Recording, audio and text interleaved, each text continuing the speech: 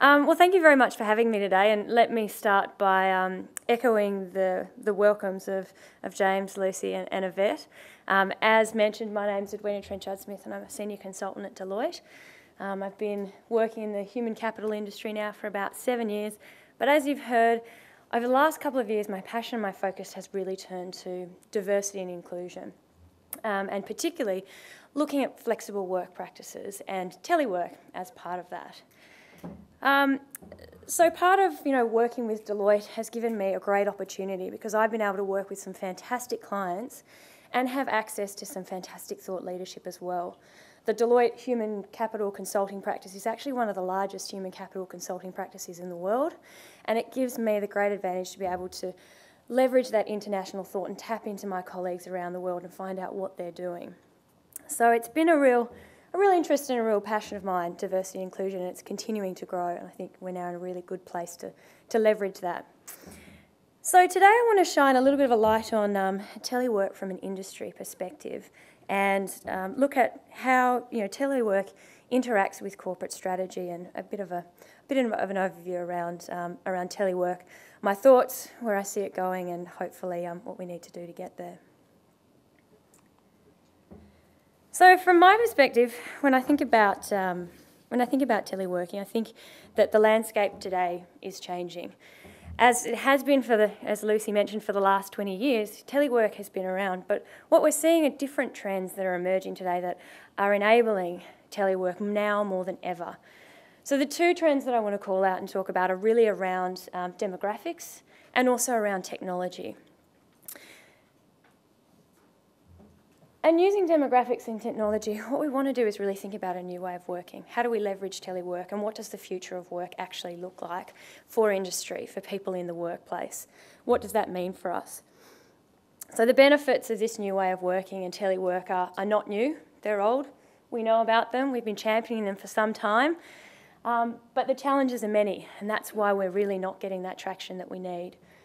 So what I want to touch on today is, well, how do we actually reach our goal and what does that mean for corporate strategy?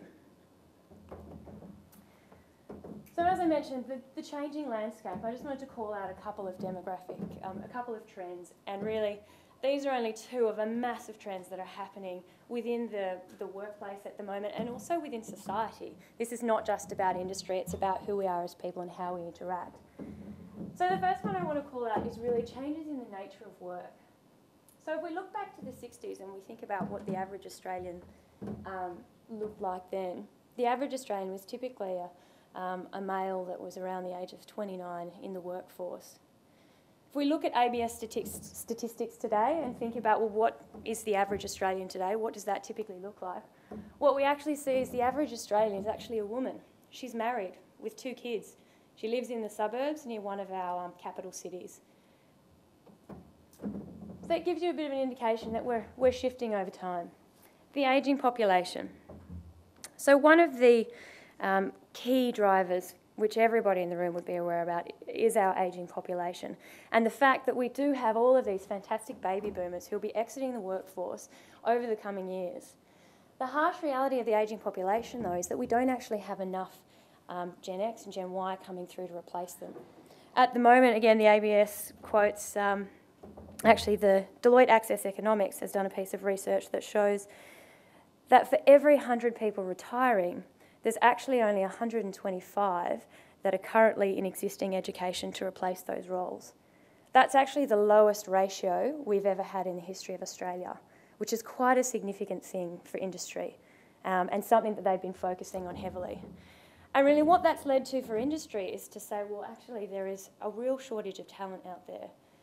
And so we hear about this, this term, the war on talent. Heard about the war on talent for a long time. But what we're actually finding is that today, right now, 20% of businesses are actually reporting that they're unable to find the skilled labour that they need to fill the roles that they've got. So industry is really at a point now where they're thinking, wow, things are changing. What am I going to do to address some of these challenges that I've got? And then on the other hand, we've got technological changes. And what we're really seeing from a technological perspective is the impact of mobile devices and the ever increasing use of mobile devices um, from Gen X, Gen Y, and, and going further up the ladder. So, from a mobile device perspective, um, the business impacts of that are, are huge. You know, people are able to access new technologies in different ways. Everybody has a mobile device with them. Some people have two, one for work, one for personal use. And what we're finding is it's not only the, um, the ability to have these mobile devices with you all the time, but it's actually the way that mobile devices are now connecting with everything else. Through your mobile device, you can connect to the internet, you can connect to home, you can connect to work, you can upload photos, you can share things with friends. And it's having a huge impact not only on business and the way that we do work, in terms of how we communicate, what files we can share, and how we interact with each other, but also socially on the way that we communicate and the way that we operate as individuals. So it's really about the, the use of mobile devices and the connectivity of those mobile devices to your home and your work life. The final trend that I wanted to, to point out to you is around um, the use of technology in the home. And what we've typically starting to see is that we're actually becoming very sophisticated technological users. And so much so that individually, we're becoming more sophisticated than the workplace. The Deloitte Access Economics recently did a report um, this year that looked at the home and the workplace and what a connected workplace looked like. And it actually found that overall, people felt that their home technology was actually more up to date, more user friendly, and faster than the technology that they're using at work. And this has actually led to a real, a real drive and a real trend around IT policies within organisations. The need for organisations to open themselves up and say, well, actually, maybe we need to implement a policy of bring your own device to work. How do we let people connect using the sophisticated tools that they've already got and they're comfortable with and leverage that as part of the workplace and part of what we do? So, those two key trends are really changing the landscape for us today and leading to what we're hoping will be a new way of working. Now, as I said, telework is not a new thing. Workplace flexibility is not a new thing. But hopefully, with the trends that are happening in the environment at the moment, we're setting the groundwork. We're creating a bit of a perfect storm to actually get this, this new way of working right. So, what is the new way of working? Well, the new way of working is about, is about responding to this changing landscape. And to do that, my opinion is that employers need to leverage the advances in technology to address some of the barriers that they're having around the talent pool. I read this statistic on a plane the other day and I thought it was fantastic as it just encapsulates what teleworking and flexible work practice is about. Um, this was in the Voyeur magazine. It said 75% of non-labour force Australians with family or carer responsibilities would, would be happy to telework if offered a super, suitable opportunity. So that's 75% of people who are currently not in the workforce. What does that do to your talent pool if you're able to attract that population back to the workforce? So when we look at and think about this new way of working, what does the new work environment look like? Well, the new work environment needs to, to change and offer flexibility in two ways. It needs to look at how you work. So when we think about how you work, there's no one size fits all. What we know based on research that's been done at the moment is that the employee of tomorrow is more diverse than ever before. And as the employee of tomorrow is more diverse than ever, ever before, the arrangements to support that employee are also going to be more diverse than ever before. So we're looking at whether it be part-time, full-time, job share, individualised work schedules, flexible or compressed working weeks, you know, all of these options need to be available to open up that talent pool and allow organisations to meet the demands that they've got and leverage um, the benefits of flexible work arrangements. Where you work is also the big thing. And Yvette mentioned it earlier. Um, it's no longer about working from home or working in the office. Yes, they're your two obvious choices, but what we're seeing is that the workplace of the future could be anywhere, absolutely anywhere, and that companies and organisations are actually getting more sophisticated around providing the opportunities to connect um, outside the office, um, creating you know cafes or, or hubs that people who are um, remote, located remotely can connect to without coming into the workplace, but finding some connection with the organisation in any case. So what we're really seeing is that telework is not about home, um, it's not about the office, it's about the ability to access and connect anywhere. And what that means for the future of the workplace is also that it's going to become a very different space. If we've got um, people teleworking flexibly wherever they want to be, when you come to work, the function of being in the office could be quite different. The function of being in the office for our organisation now is actually about providing connectivity, providing that opportunity to collaborate face to face, generate new ideas, um, and build relationships so that you can actually go away and telework um, and continue to contribute um, on your own. Through social media, through the internet, you know, despite the fact that we think working from home, you're not in isolation. You can still continue to collaborate and work with others to, um, you know, draw out best-class ideas from around the globe using the internet, using the technology that you've got at your fingertips, and providing that back to your organisation. So it's a new way of um, a new way of thinking about these things. How you work and where you work is fundamentally going to change the nature of the office and the kind of spaces that organisations are creating um, to bring people together. Uh, I read a, a, really nice stat about uh, telework the other day that said in the United States, um, from 2005 to 2011, 73% uh, um, growth has been experienced in regular telecommuting in the US and that's compared to an overall growth in the workforce of 4.3%. So what we're seeing is that there is a bit of momentum, there is a bit of a shift towards telework, and this workplace of the future is going to be critical. So now I know I'm preaching to the converted, and I don't need to tell you all of the um, all of the wonderful things, but the facts are there, and, and the evidence is there, and I'm, I'm just going to give you a few of my favourite ones that have been proven. You know, we always talk about the benefits, and you know, we, we talk about how we quantify them, but they're real. The research supports it. We just need to get traction and get people to listen to make it happen. So when we talk about um, employee satisfaction, you know, Im improved employee satisfaction is critical. Um, World at Work found that companies that embrace flexibility have lower turnover, higher employee satisfaction, and more motivation. We also find that you know when we leverage technology with our workforce. We get better collaboration and better productivity.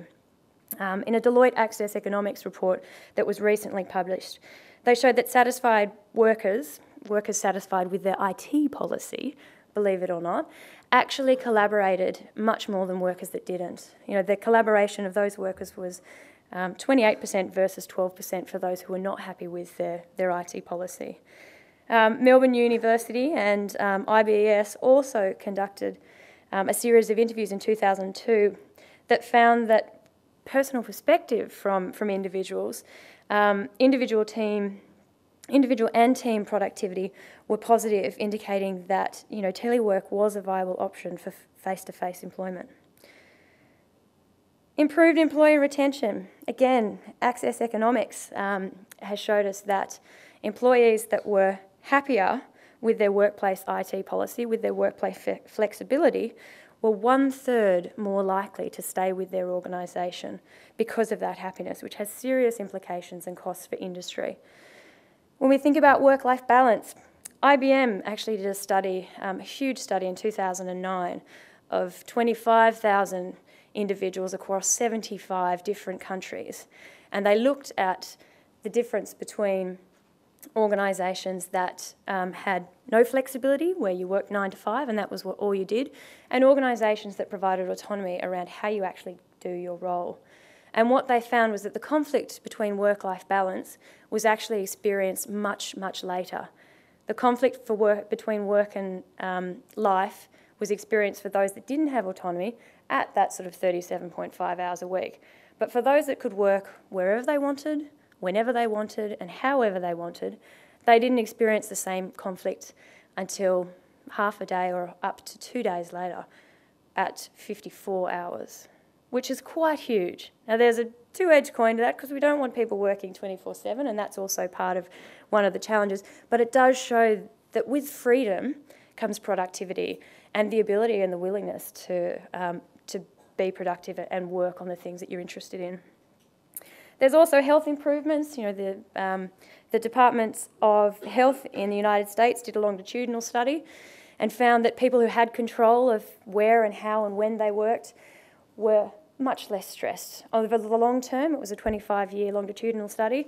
Those that had control of their work environments were less likely to have um, diabetes, heart attacks, um, heart disease, whereas those that weren't were much more likely to fall victim to those things. So the study showed that in the short term, when we talk about flexibility, we talk about absenteeism um, and a happy workplace. But in the long term, we're actually talking about fundamental health benefits for individuals. So the benefits are real.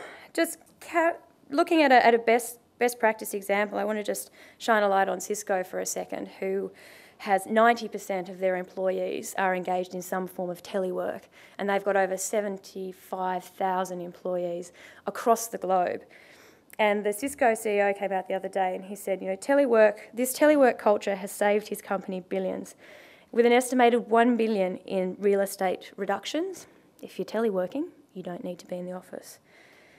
An estimated 2 point, um, uh, sorry, 220 million in reduced travel, um, 250 million in productivity um, using collaborative technologies, and it saved commuters um, roughly 79 hours each travelling to and from work. And what they actually found was that 69 of those hours were actually spent working instead of travelling uh, because people could.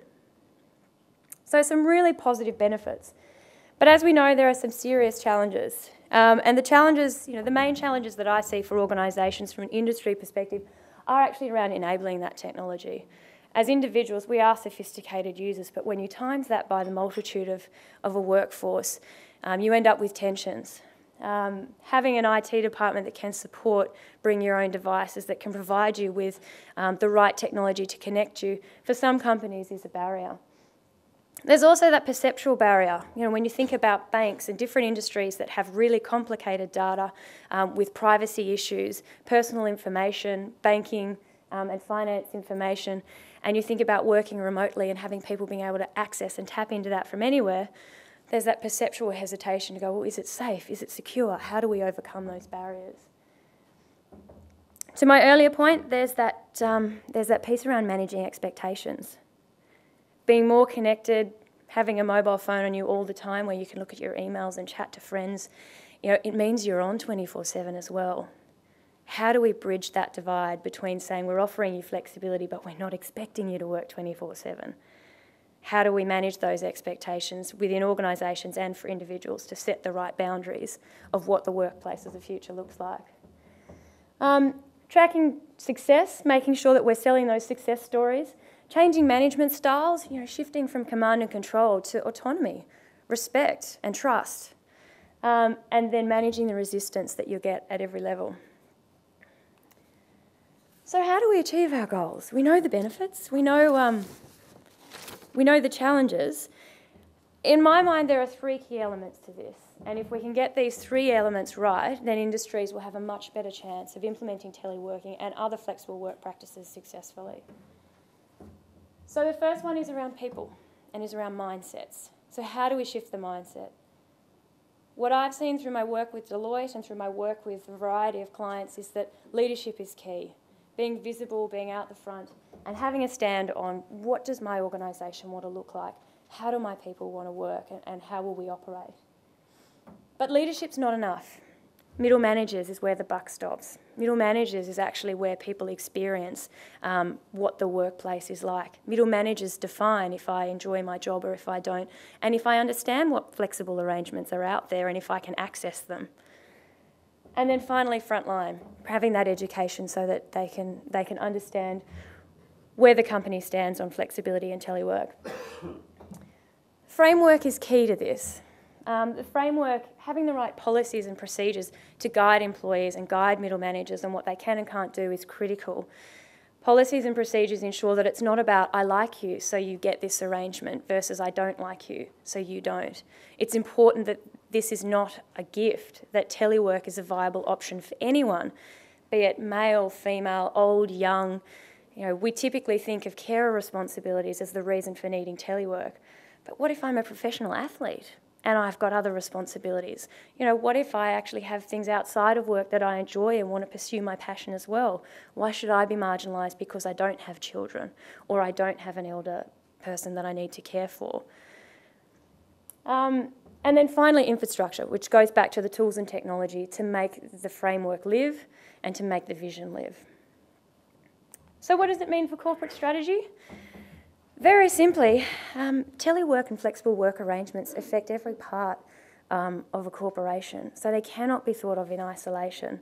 You know, I've thrown up a couple of um, departments on the, the screen there to give you an idea, but when you're thinking about teleworking and you're thinking about flexible practices, you're talking about the vision and values of the organisation. How do we work? What do we value? Is it bums on seats or is it output?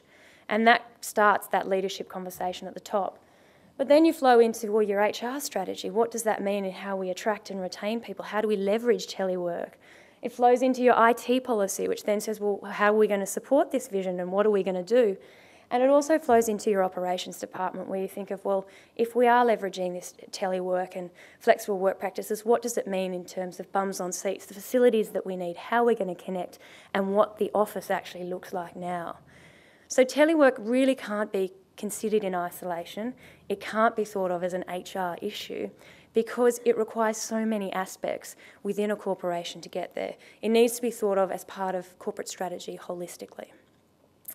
So, thank you very much for your time. I'm going to leave it there because I know we are running a little bit over. Um, but I appreciate you having me today, and hopefully, I've given you a little bit of a framework to think about things from an industry perspective and a bit of food for thought. Thank you.